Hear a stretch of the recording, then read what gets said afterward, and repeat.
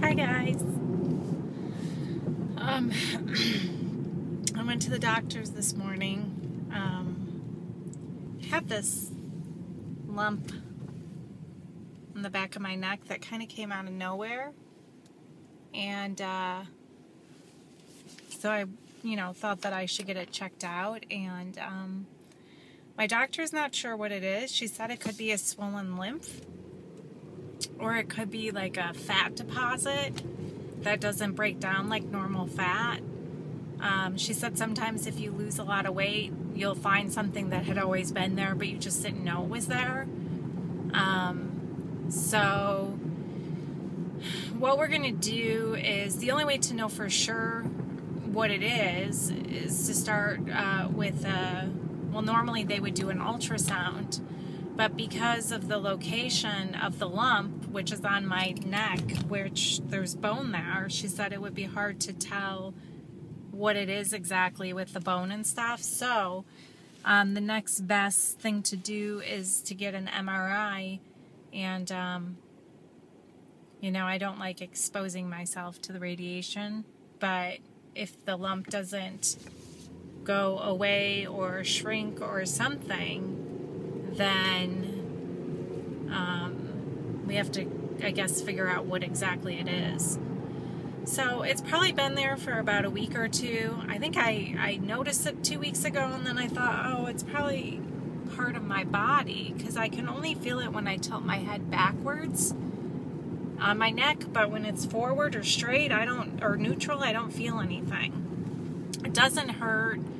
Um, it's just kind of strange. So then the other day I did that again and I felt it and I thought this is not normal. Like it just I would have noticed it before at some point you know if it had always been there. So um, it's probably about the size of a chestnut maybe a golf ball.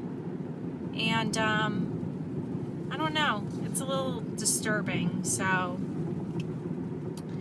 so I actually have my annual checkup with her in a week or two, and I'll just have her recheck it at that point, and we'll reassess or reevaluate the situation, and um, and we'll determine if the the MRI um, or CAT scan, I forgot which one she said, we'll determine if that's necessary. So um, I am out and about today. I went to the doctor's and I just went to the Whole Foods near my old house because it's so much smaller than the one near my new, well, near the apartment where we're staying, and I hate it. That one is just a madhouse.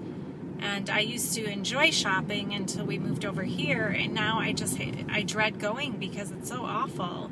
There's so many people, and you can't move around, and you can't move your cart, and it's it's just not a good situation. So anyway, I figured while I was over at my doctor's near my uh, old house that I would just go and pick up a few things at the Whole Foods um, near my old house as well.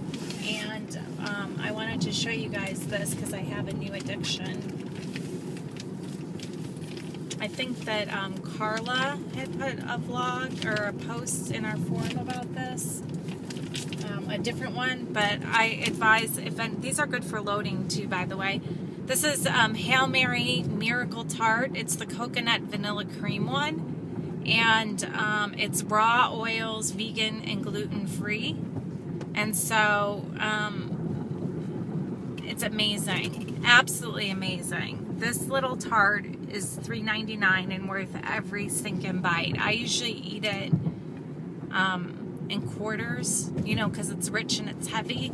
But if you're loading, you could eat the whole thing at once. And um, the whole thing has, well, it says it has three servings per container. So, um, but one serving has 10 grams of fat. So the whole thing would be 30 grams of fat.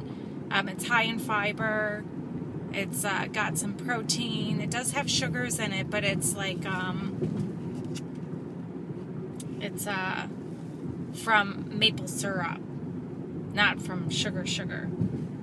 Um, there's almond flour, organic palm sugar, raw cashews, bourbon vanilla, sea salt, shredded coconut, virgin, extra virgin coconut oil, organic, yeah, not extra virgin coconut oil, organic virgin coconut oil, coconut water, raw almond flour, absolutely amazing. So um, you have to try that. And then today, I normally get the coconut macaroons, um, but today I noticed that she has a new one out. The lady that came out with this line um, is actually local to Dallas, I believe, or she's in Texas at least.